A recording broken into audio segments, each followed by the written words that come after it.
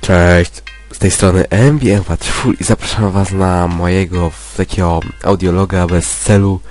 Po prostu mm, tak osta ostatnio, tak dobre 3 godziny temu, nie no, ostatnio zacząłem oglądać sobie e, JJ JJ'a i CTSG, ale z tych ich, ich pierwszych odcinków Minecrafta Solo, czyli od alfy do bety, czy no nieważne, chodzi mi o samą taką intencję, jakby tak można to ująć. Mm, ostatnio sobie tak oglądałem tej filmiki i sobie tak przypomniałem, jak się fajnie grało od pierwszego właśnie, no, pierwszy raz jak się grało w Minecrafta, te trudności, te, jeszcze ta niewiedza, te, mm, no ciężko mi określić, ale wiecie o co chodzi.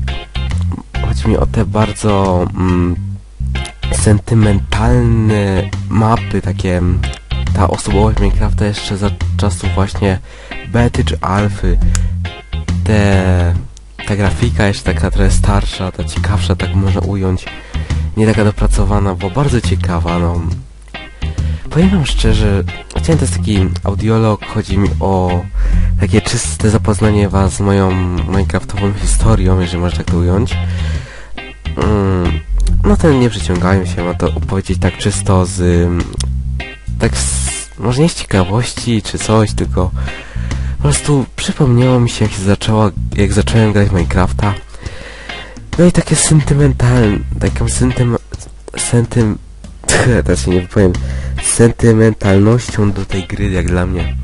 Więc tak, jak dowiedziałem się o Minecrafcie? Powiedział mi o nim DJ Kera, powiedział, że to jest takie kwadratowe gówno, co tam się po prostu mu się podoba, tak to określił, tak mu się to nie podobało, czy jakoś tak mniej więcej w tym stylu. To powiedziałem, ty mi chłopie nie gadaj takich głupich grach, bo tam nie zagram. No ale tak sobie patrzę, mówił mi o J. Jokerze, że on tam nie ma tylko Minecrafta, tylko jakieś inne gry, no to postanowiłem tak wejść, zobaczyć jego kanał. Powiem szczerze, że bardzo lubiłem jakieś takie maszynimy, jakieś oglądać z GTA San Andreas jeszcze, jak GTA 4 nie było. no i po prostu tak sobie postanowiłem. Nie wiedziałem jeszcze, ty, że są takie rzeczy jak let's play, no głupek z mnie, by nie patrzę na takie właśnie o grach, tylko takie maszynimy, raczej takie zabawne z GTA San Andreas jeszcze. No i po prostu tak, po prostu let's play. No zobaczymy co to ten let's play, nie? Patrzę sobie Minecraft, no. Kurczę, no. Zainteresowany jestem, nie? Tak, patrzę sobie na te jego filmiki, ale nie z Minecrafta jeszcze mówię. Tylko takie, takie filmiki typu e, o tym wampirze mm, Potwory kradły mi księżniczkę. Prawdopodobnie. O, to właśnie ten, ten tytuł, tylko nie, nie pamiętam jak to było po angielsku. Patrzyłem sobie na to i tak mówię, no fajny koleś, nie? To mnie zakłoniło do zrobienia mojego pierwszego konta na YouTubie, żeby go subskrybować i oglądać jego filmiki. To był mój taki pierwszy poważny let's player. Ten poważny, Boże, jak to zabrzmiało. No ale tak sobie patrzę, patrzę, Minecraft. No, patrzyłem na jego inne filmiki tak właściwie, ale Minecraft, tak. Wrzucił tyle tych filmów z Minecrafta, no to postanowiłem, no co to jest ten Minecraft, nie? C co to za gówno, tak... No dobra, wejdę, zobaczę, nie? Patrzę. O, nawet ciekawe, takie kreatywna ta gra. Patrzę, patrzę. No, całkiem fajna. Potem postanowiłem sobie ściągnąć właśnie piracką wersję, ale jak ja raczej mówię nie pełną wersję, bo nie mam premium jeszcze do tej pory, tylko korzystam z Minecraftera, ale to ja jeszcze za mam zamiar kupić już e, oryginalnego Minecrafta, czyli Giftcoda Blue Masters sobie kupuję, to może mi też kupię, jak mu tam podrzucę mm, kasę. No więc tak, nie przeciągając dłużej z tym moim nieoryginalnym Minecraftem. No i tak, postanowię sobie ściągnąć właśnie tego nieoryginalnego Minecrafta i zagrać. Patrzę, a co? Dobra, zobaczmy co to jest, nie? No i tak, pierwsza rzecz jaką zrobiłem, ścinam, nie wiedziałem co zrobić. Wszystko uderzałem ręką, bo nie wiem czy to się niszczy tym, czy tym, czy tym. No i w końcu takie coś. Piszę do właśnie Kery. Kera, jak się robi? Haha. bo nie wiedziałem jak się... Jak, co trzeba zrobić, żeby mieć większe pole do craftingu.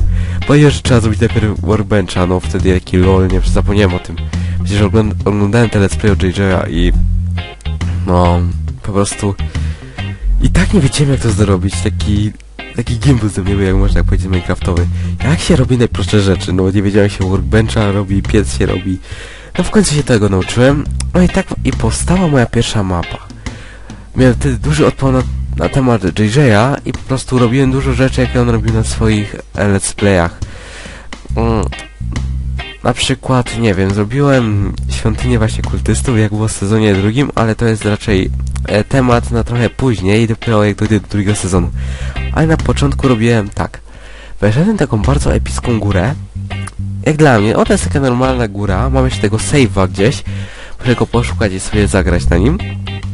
No i weszłem na tą górę, patrzę, tam jest pustynia, taki mały las pod tą górą, zaraz obok jest mm, morze, twierdzę, no całkiem fajna miejscówka, nie, nie, jakby nie powiedzieć, tam mam dostęp do piasku, do drzew i do wody. No postanowiłem tam zamieszkać. No i tak, na górze zrobiłem sobie taką małą lepiankę z drewna, nie z takiej głupy, kto szczerze mnie nie był, żeby sobie z dirtu robić jakąś lepiankę. Takie moje pocieszenie dla was. No i tak, zrobiłem sobie taką, no i tak postanowiłem sobie wkopać trochę w tej górze i zrobić tam mały magazyn, dosłownie na cztery skrzynie, które nigdy nie zapełniłem nad innym surowcem. tak w ogóle taki magazyn bez surowców to był. Bardzo głupie, wiem. No i wtedy robiłem właśnie taki domek. Poszedłem po piasek, przytopiłem na szkło, sobie takie okna fajne, takie duże. Potem dorobiłem sobie drugie piętro do tego mojego pierwszego domku i tam zrobiłem sobie pracownię z piecami, workbenchami i w ogóle tak całkiem wypełnione. Super, mówię. Potem postanowiłem zamiast chodzić do jaskiń po prostu zrobić sobie własną kopalnię. No i wtedy po prostu kopałem się przez górę i obok góry znalazłem... Jeśli przekopałem przez tą górę, znalazłem obok niej takie fajną miejscówkę płaską. Ale tam zanim jeszcze się wybudowałem, to potrwało jeszcze trochę czasu. Potem e, postanowiłem sobie właśnie wybudować taki pierwszy dom z właśnie z czystego stone'a i chyba drewna. Nie jestem pewny, nie pamiętam, to już było takie stare czasy. No i w końcu tak sobie grałem, grałem, grałem, kopałem sobie, no jak normalny gracz, jeszcze taki pierwszy, co jeszcze miałem dużo weny w Minecrafcie. No i potem, jak zacząłem znowu oglądać tam JJ'a, te nowe odcinki, to coraz bardziej mnie jakoś ciągnęło, żeby wybudować coś większego. Wtedy postanowiłem zbudować na przykład swój pierwszy dom, ale na ziemi, nie na górze. I wyszedł takie fajnej szczelinie nawet ten dom. Bardzo mi się to spodobało. I postanowiłem wyłączyć sobie w tym momencie GG, które mnie zaczyna wkurzać. E, no i postanowiłem tam wybudować sobie dom. Dom został wybudowany, taka duża willa, tylko bardzo pusta nawet.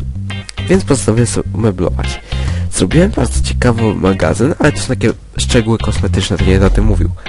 Wybudowałem sobie ten dom. Zbudowałem sobie e, ogrody, takie malutkie ogrody, tam było chyba 20 na 20 kratek ogrodów, bardzo małe były. I co tam powstało?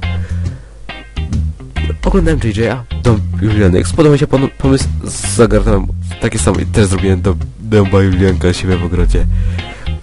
No, to było kolejne takie raczej głupie z mojej strony, tak coś ściągnąłem od JJ'a. Potem zrobiłem sobie farmę kaktusów i nieudaną, bo całkiem zepsułem ten projekt i po prostu sandstone sobie położyłem na kaktusia, a nie obok. to było bardzo głupie. Obok tego zrobiłem sobie farmę. No i było fajnie. Potem postanowiłem zrobić sobie jakieś... Nie wiem, nie miałem pomysłów. Patrzałem sobie na jakieś dziwne poran... Dziwne, normalne poraniki z Minecrafta. No i wtedy zobaczyłem takie rzeczy jak generator kobla i obsydianu. Z tego postanowiłem zrobić sobie fabryki. Fabryki powstały w górze obok mojej e, farmy. No i tak potem nie mam co robić. Nie mi się... Znaczy nie mam co robić. Miałem dużo pomysłów, ale już raczej taki, że no chcę to zbudować, ale nie chcę szukać materiałów na to. No to odpuściłem się Minecrafta, żeby mieć więcej weny. Poszedłem sobie do, do Kery, no i patrzę, jak on ma tyle materiałów i taką dużą mapę, nie? Pytam się, czy ty musisz tyle zbierać, mi się to powoli nudzi. A on mi mówi, że on sobie to po prostu zcheatował, no, wielkie lol. Jak dla mnie. No to postanowiłem zobaczyć ten program. Potem mi się bardzo spodobał i sam zacząłem z niego korzystać. To był... I coś tam inwentory, coś... Inventory edit. Coś trochę trudny w obsłudze jak dla mnie. Ale jakoś to było. No i tak. Zaraz po tym zrobiłem sobie taką właśnie małą e, fabrykę świń, tak po prostu ze spawner dałem i one się tam spełniły te świnie, nie zawsze dostałem do świeżego mięsa. potem nie mam co robić, nie? No to postanowiłem zrobić taki mały hotelik dwu- dwupiętrowy. E, słaby taki mały domek zrobiłem. No i nadszedł czas, że JJ zrobił sezon drugi, czyli fabuła. Po prostu brak słów. Tak zajebist... Że tak powiem, ale tak zajebiście mu to wyszło, że po prostu brak słów. No i tak, tam pierwszy pomysł, jaki zgapiłem z tego sezonu, to był pomysł na świątynię kultystów. Na pustyni zrobiłem taką piramidę Sandstone'a. Potem zrobiłem w cheatowanym Mossy Stone'em właśnie e, zro, zrobiłem taką środek świątyni i po, kolejny pomysł, czyli pod ołtarzem zrobiłem zejście do podziemi, no. Ale to już tam szkoda gadać. No i tak, po tej świątyni znowu nie mam co robić. Znowu. No i postanowiłem zrobić wtedy mm, taki od pod domem, pod tą górą jeszcze taki basen jakby. No i potem znowu nie wiem co robić, więc postanowiłem zrobić sobie taki zamek z sandstone'u malutki na plaży niedaleko właśnie tej góry, przy morzu. No i potem znowu nie wiem co robić. Potem robię sobie domek letniskowy, kolejny dom na tej plaży. No i potem nic nie mam co robić. Potem robię sobie podziemny, podziemną e, kry, podziemną, podwodną kryjówkę, czyli po prostu wkopałem się pod wodą i zrobiłem sobie e, pod tym e, nad dirtem szkło, żeby było widać fajnie wszystkie, no całą florę i faunę wodną. no i co potem? Potem było, był e, no kolejka do mojego kolejnej, kolejnej willi, tym razem takiego raczej fortu z cegieł, ale nie będę wam go dobrze opisywał, ponieważ mam dla was pewną propozycję, ale to pod koniec audiologu. Więc tak. E, tak. Przepraszam, ale znowu było cięcie, musiałem wysmarkać lekki katar. Nic poważnego. Tylko nie chcę to smarkać do mikrofonu, więc tak. Mm, e, zapomniałem wspomnieć jeszcze, że zrobiłem już pierwszy portal do piekła. I potem, potem właśnie fortem takim jakby zrobiłem kolejny portal i robiłem tyle portali i w końcu te portale się zepsuły i ciągle, do którego nie weszedł, to wyszedłem tylko przy pierwszym właśnie takim kościele jakby.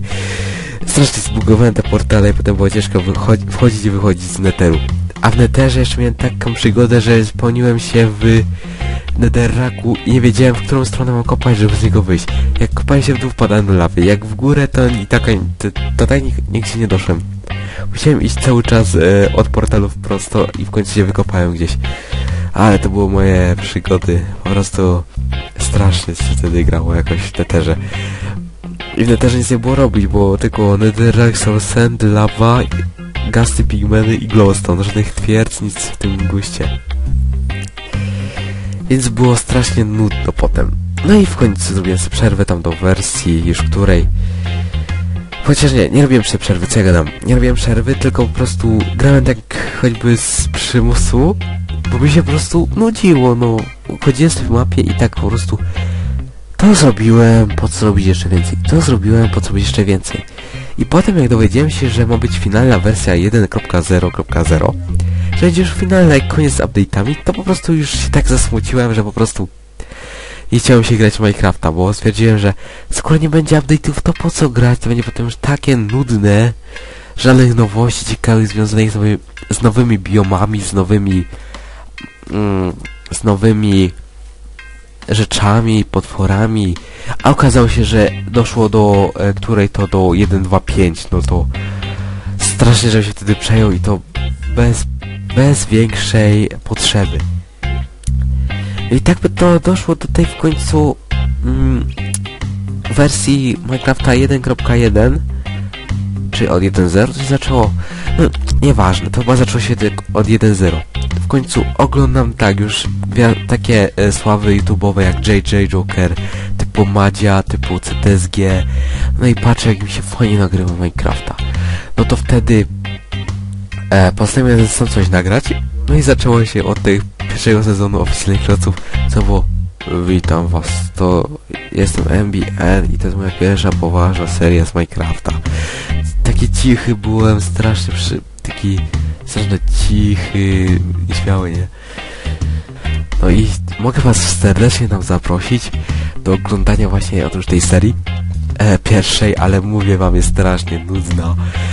Ale jak już chodzi o pierwszą serię i początki na YouTubie, to to było czekam na jakiś poważniejszy specjal. Bo warto wspomnieć, że miałem kilka kanałów YouTube, nie od MBN wszystko się zaczęło. No. Więc to było na tyle chyba w tym audiologu. Ale moją propozycją jest takie coś, że czy chcecie specjala, gdzie was oprowadzam po mojej pierwszej mapie z bety krop- 1.7.3. Czy chcecie, żebym was oprowadził po mojej epickiej pierwszej mapie? Będą jeszcze szczytowanych rzeczy i moich wspomnień z Minecrafta. Nie no, naprawdę. Ja bym chętnie to zrobił, ale nie wiem, czy chcecie po prostu oglądać, jak przynudzam o moich początkach takich raczej budowniczych, jak wszystko widziałem wtedy w innej barwach jeszcze Minecrafta. No i czy chcecie może historię na YouTubie, ale to nie na pewno później, ale czy chcecie, warto, warto wiedzieć na przyszłość. Więc to było na tyle, więc naprawdę komentujcie, subskrybujcie, dawać ulubionych, dawać w górę. No i zapraszam was do kon konstruktywnej Eee, konstruktywnej, konstruktywnego udziału w komentarzach, tak lepiej zabrzmi, bo chcę e, poznać waszą opinię na temat mojego e, budownictwa, czy moich, a moich, moich raczej przygód z Minecrafta. I czy chcę wiedzieć, czy mieliście tak samo. Albo mam dla was też taką fajną propozycję, że możecie dać e, do odpowiedzi wideo swoje e, audiologii, taki audiolog... E, o! Zrobię wam mały konkurs, jeżeli kto to usłyszał. Więc tak, ogłaszam teraz mini konkurs taki. Nagrajcie audiologa, wys, e, wyślijcie mi go na odpowiedzi wideo e, na mój kanał. No i najciekawsza historia z Minecraftem wasza, ale naprawdę uczciwie, nie zmyślajcie, tylko uczciwie jak ja się tu naj, najszczerzej jak mogłem wypowiedziałem. Ten uczciwą, niezmyślaną historię o Minecrafcie. Nie musi być ciekawa, może, znaczy najlepiej była ciekawa, ale jak się dowiedzieliście, jakie były wasze pierwsze reakcje, przeżycia, budowle, jak ja wam opowiedziałem właśnie. I ten, kto badałem, będzie miał lepszą historię o Minecrafcie, ten wygra ze mną na przykład, na przykład, na przykład serię Survival. Jedną serię Survival z mapą, którą sam wybierze. Czyli wy wybieracie mapę, ja mam, ja załatwię serwer i zagramy i coś z tego nagramy. Jasne? Więc tak, jeżeli jesteście zainteresowani takim konkursem jakby, nagrajcie audiolog swoją historią w Minecrafcie, swoich, swoim pierwszym przeżyciom, swoim pierwszy, pierwszymi przeżyciami z Minecrafta. Nagrajcie audiologa i w odpowiedzi wideo chętnie posłucham i nie ma ciekawszą, z chęcią e, nagram jakąś serię survival albo escape'a, jak, wo, jak kto woli. Możecie też napisać w komentarzach, czy wolicie odcinek z y, mapki escape, czy może survival. No, więc tak. Już na poważnie. Komentujcie, subskrybujcie, dawajcie ulubionych, dawajcie w górę. Na razie, czyli czołem ludzi. Pa, pa. I jeszcze ma informacja dogrywana po nagraniu. Jeżeli było mnie źle słychać, przepraszam, ale mam katar i mogę niewyraźnie za bardzo mówić. Więc przepraszam was za każdą, może słabo zrozumiałą myśl moją, ale nawet teraz mam katar, jak słychać. I przepraszam was za jakieś tam niezrozumiałe e, wątki z mojej gadaniny. Bardzo przepraszam, ale mam nadzieję, że was to nie zrazi i zrozumicie, że miałem taką wenę do nagrania, a miałem katar, to trudno. Więc przepraszam i pozdrawiam was bardzo serdecznie, więc narka.